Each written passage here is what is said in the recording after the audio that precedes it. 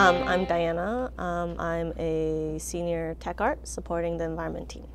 Uh, my name is Christian Davis, and I'm an environment artist here at Hi-Rez Studios.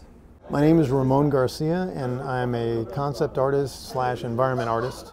My name is Thomas Holt. I'm an art director here at Hi-Rez, uh, specifically focused on Smite for the environments. I got started through an internship at Electronic Arts um, that I got through, you know, my college.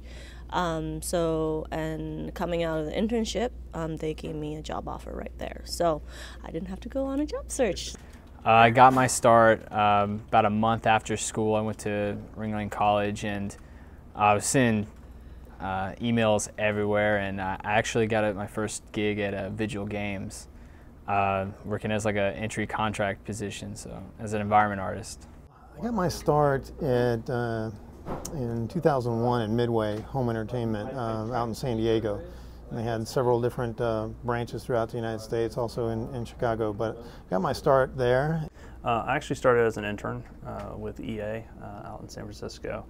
So I was going through their internship program, um, and it was just something I found online. I was applying to a bunch, a bunch, a bunch of places, and ended up kind of getting my foot in there, and then kind of working my way up. I think the biggest thing that stands out to me is for people to be unique, um, to be an artist, and not, you know, look at what other people are doing, but do something that really speaks to yourself. Do what you love to do first. Be passionate. It's not just art for art's sake. We're making games, and so being passionate about games, understanding games, uh, knowing you know what the games are, working on mods, uh, and, and, basically pretend you're in the industry before you actually get in the industry uh, is usually a pretty good way. Keep practicing your art. So.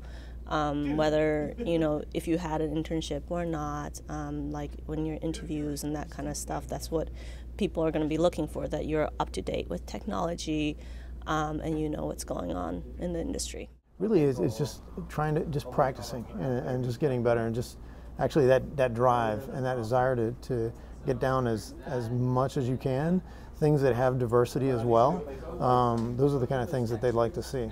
So uh, there's usually pretty complicated you know issues that you have to solve when trying to create beautiful things in, an, in a game environment.